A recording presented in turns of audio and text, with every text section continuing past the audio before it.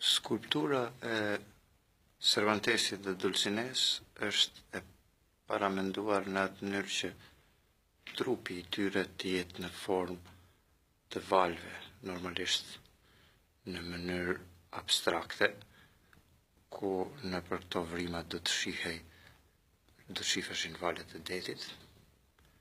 Ky është bazamenti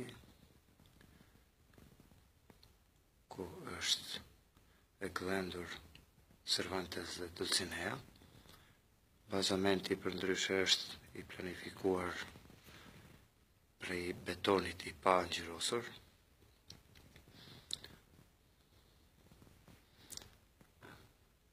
Pozita e duarve formojnë një zemër e cila mund të shihet vetëm kur pozicionohemi në anën frontale të skulpturës.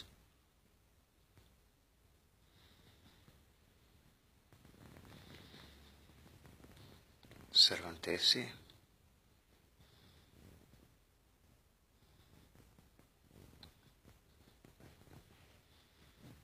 fytyra e Dulsineas,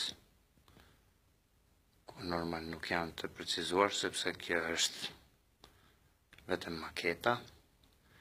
Këtu në dorë Dulsineja Ka një gjygym me ujë, është e veshur me veshë kombëtare ulqinake, do të thotë këtu xhamadani.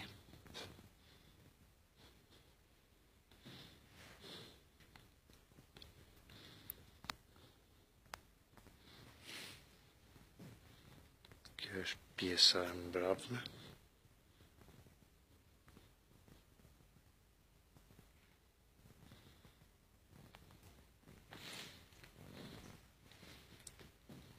efektet speciale të cilat ka kjo skulpturë është që duart që formojnë zemrën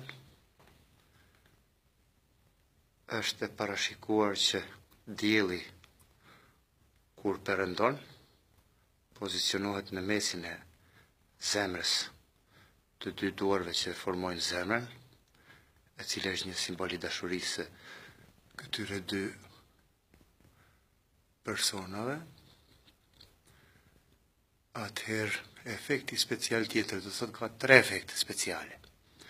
Efekti special tjetër është vendosja në bazament e pasqyrave, të cilat kur uh,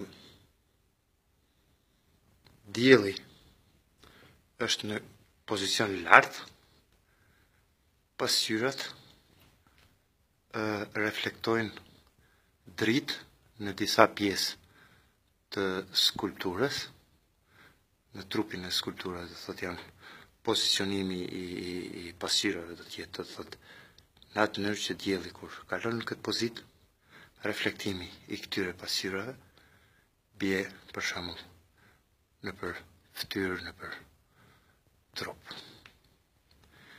atëherë efekti special tjetër është efekti i natës që ka. Ky është efekti special i natës, ku skulptura është përbrenda është e zbrazët, edhe këtu vendosen e, disa reflektorë, e cila është e paramenduar si valët e detit shkojnë edhe drita del nëpër këto vrimat deri në zemrën e Cervantesit edhe në zemrën e Dulcineas.